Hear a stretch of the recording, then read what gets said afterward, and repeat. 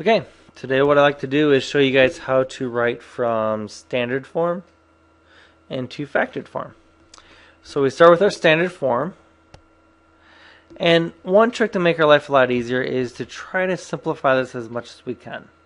So to simplify it, I'm going to try to get rid of this 2 if I can, my leading coefficient of 2.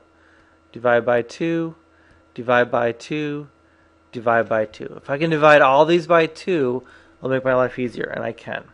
So 2x squared divided by 2 gives me 1x squared. 8x, positive 8x divided by 2 gives me a positive 4x. And negative 10 divided by 2 gives me a negative 5. I can't forget about that too, so I'm going to just write it over to the side and kind of forget about it for a while until I need to come back to it. All right, the method I'm going to show you guys today is called the rainbow method. It's called the rainbow method because we draw a little rainbow over the top and we use that to determine our factors. We multiply 1 times negative 5 gives me negative 5. And then I take my b value of 4 and I write it next to it. I want two numbers that are going to multiply to be negative 5 and they're going to add to be 4. Okay. So I start with 1 and work my way down. So 1 and negative 5. When I multiply them, give me negative 5. When I add them, they give me negative 4. Well, it's almost. That's not what I want. Oh, I'm going to put an X. That's not what I want. I want positive 4. So I'm going to change the sign of all these. That's my trick. Change the signs of everything. It should give me a positive 4. So positive 1 becomes negative 1. A negative 5 becomes a positive 5. Negative 1 plus positive 5 gives me a positive 4. And that's what I was looking for, a positive 4. I found it. So here's my two factors I was kind of searching for. I'm going to write them over here. And these are factors, so it's going to be parentheses x minus 1.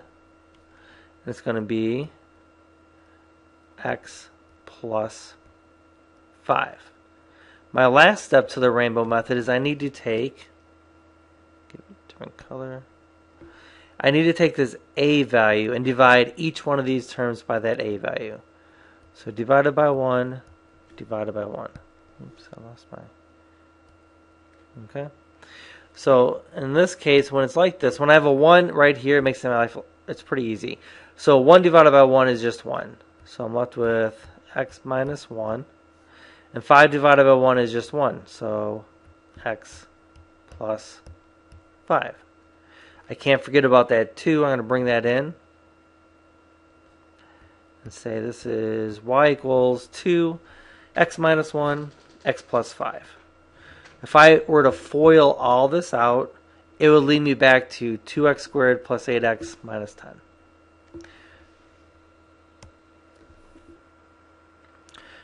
Alright, the second type I'm going to show you is when I can't divide by that a value. So I'm going to try it. I'm going to take 5 divided by 5, 42, negative 42 divided by 5, 16 divided by 5. This works. 5 divided by 5 is 1, but 42 divided by 5 doesn't work. It has to end in a 0 or a 5 to, be divisible by 5. So that's not going to work, but I can still use my rainbow method. Rainbow method says take my first times my last, my A times my C. This gives me 80. And then take my B value, negative 42. Two numbers that multiply to be 80 and add to be negative 42.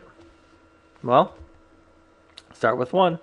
1 times 80 is 80. 80 plus 1 is 81. That didn't work. 2. 2 times 40 gives me 80. 2 plus 40 equals 42. Hey, that worked almost. But it needs to be a negative 42. So remember, my trick is to change the signs of all these. Negative 2, negative 40 gives me a negative 42.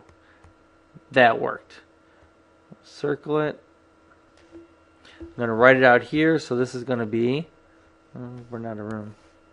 So this is x minus 2 and x minus 40. I couldn't get rid of that a value, so instead of it being 1 like over here, it's really 5. So divide it by 5. Divided by 5. Well, this doesn't reduce, so it's still x minus 2 fifths. But this one does. x negative 40 divided by 5 gives me 8. x minus 8. I don't like fractions. I don't know about you, but we can fix this, and we're going to. So whenever I get an x minus a fraction that can't be reduced, I'm going to take the denominator and just move it over here. So this becomes 5x minus 2 times x minus 8. Put a y equals in front, and there we are. This is a little bit different of a factor form than we've seen before because we have a 5 in front of the x, but that's okay. It works exactly the same way. So now we have our factored form of 5x minus 2 times x minus 8. And again, if I were to FOIL this out, it would give me the same equation, my standard equation. Thank you.